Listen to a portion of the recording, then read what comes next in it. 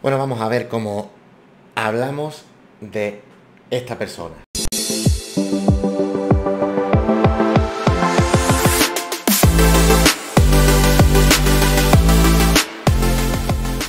Muy buenas amigos, bienvenidos al canal Dani Vlogs con V. Hoy voy a ir rápido porque hoy tengo un vídeo que son casi 5 minutos que os voy a colocar aquí y no quiero que se haga después esto larguísimo. Así que ahora vamos a verlo. ¿De quién? De François Gallardo. Sí, ha aparecido de nuevo, queridos amigos. Aquí nuestro mm, gurú embapeísta, otro más, François Gallardo, que haciendo un rapidísimo paso por lo que nos lleva contado todo este verano, tengo que decir que un rapidísimo paso por mí también, porque yo empecé a creérmelo en junio, me lo fui creyendo un poco más en julio, en agosto empecé un poco a dejar de creer, a final de agosto que estamos ahora, no creo en nada de lo que dice, en nada. Y como yo, tiene que haber habido muchísimas personas que se han sentido engañados y, eh, iba a decir vilipendiados, pero es que totalmente, porque ha jugado con todo el cariño, las ganas, eh, la motivación de los madridistas, por no decir con el interior de los madridistas. Nos ha dado un montón de fechas, todas ha fallado. Nos ha dicho que por último iba a ser entre el 15 y el 26. Estamos a 29. Y salta ahora y te dice entre el 26 y el 1. Vamos, vamos a entrar ya en la recta final. Del 26 al 1 de septiembre. Queda poquito, poquito para lo mejor. Kylian Mbappé verano 2023. Y nada, simplemente cosita simple, fácil, de sentido común, siempre. Qué casualidad que esta semana se ha hecho la votación para ser capitán. No está ni en el podio. Ni en el primero, segundo ni tercero. ¿Por qué? ¿Es el mejor jugador del mundo? ¿Es el líder? ¿Es el goleador? ¿Es el jefe? ¿Cuál es la razón? El año pasado, el 2022, el el podio. 2021, el el podio. Y ahora, este año, no está ni en el podio. ¿Es normal? ¿Qué ha pasado? ¿Lo podéis explicar? No me lo puedo creer. ¿En serio? Y luego, otra más. Ha rechazado ya, creo que 5 o 6 tentativas de Arkelaifi de ampliarle el contrato. Renovación.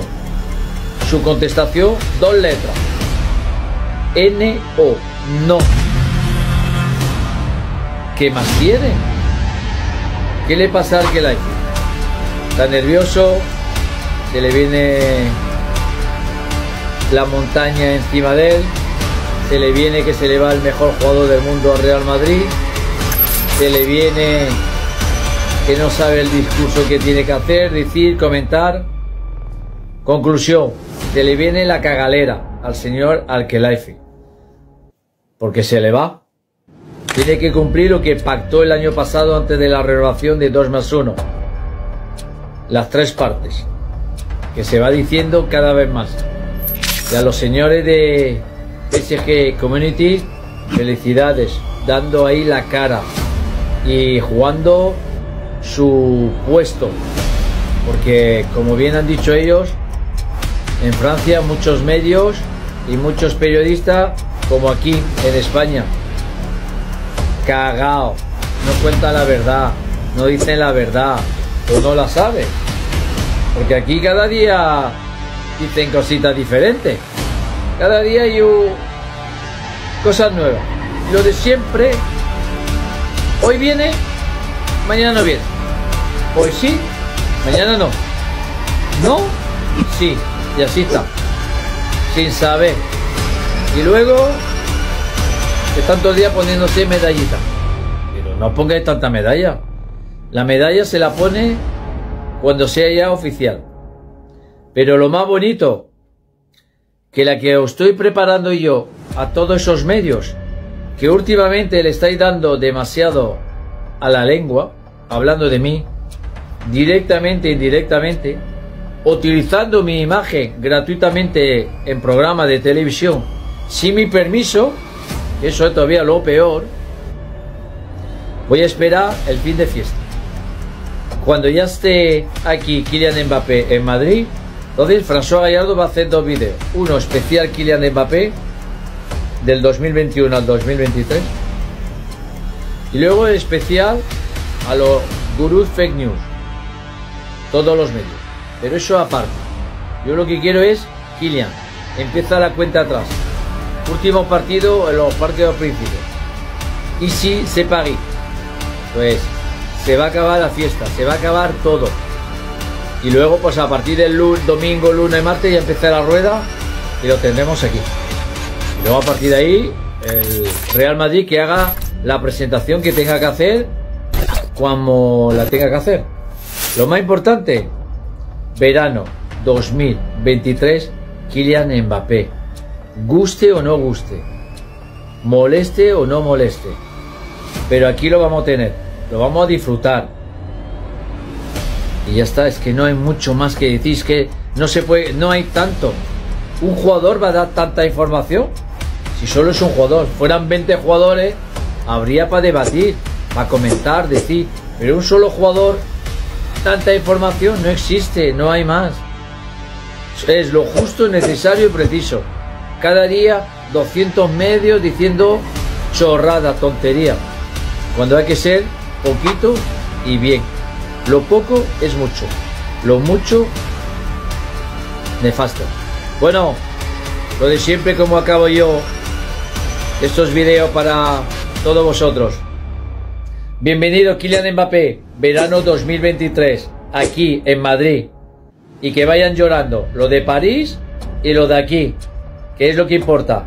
Bienvenido Kylian, te esperamos, te veré. Bim boom. Es de verdad, tío, de verdad. Y aparte de esto, amigos, aparte de esto, eh, en su discurso, que sigue diciendo que Mbappé viene, que no se lo cree ya nadie, también coge y empieza a despotricar contra la prensa, contra los gurús, que él está dentro, él está dentro de los gurús, contra todos los que dice que lo han desprestigiado, contra lo típico que hace toda esta gente que está metida en Twitter, Twitch, etcétera, y que cuando no se cumple lo que dicen y ya se han llenado el bolsillo tela, pues empieza a echar balones fuera metiéndose con la gente. Es lo que suelen hacer y lo que van a hacer a partir del día 1 de pasado mañana. Atentos, porque ya ha habido incluso cuentas en Twitter donde nos han comentado que han estado todo el tiempo mintiendo. Y se han quedado tan panchos. se han quedado tan panchos. Vamos a escuchar aquí a amigos. Yo qué más os digo, queridos amigos, después de todo esto, de esta exposición. ¿Qué más queréis que os diga?